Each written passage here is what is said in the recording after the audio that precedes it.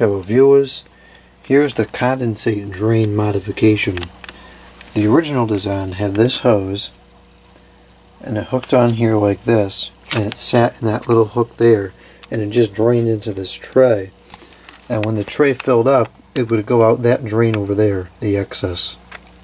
Now, the problem with that is water was sitting in here all the time and it's caused immense amounts of rust to, to form on, on the compressor mounts.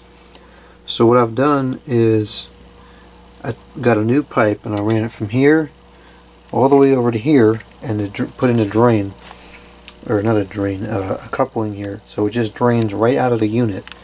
So now it's no longer going to have water piling up in here and causing all this rust.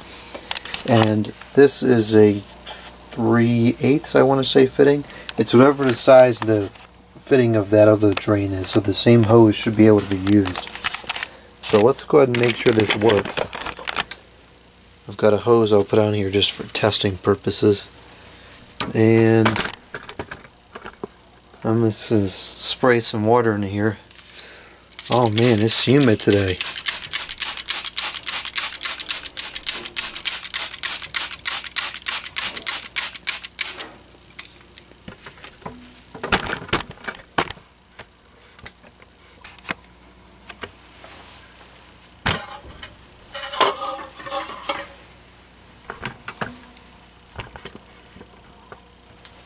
Looks like we're going to need a little bit more.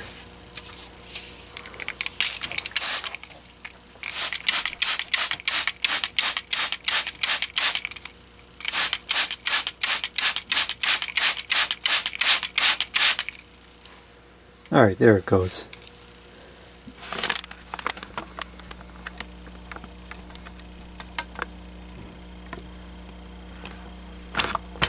And there we have it.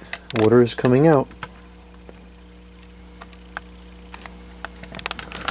And now we have no waters left inside the unit so the water is just going to safely exit and not cause any more rust. So I think that's a much better design than what they had originally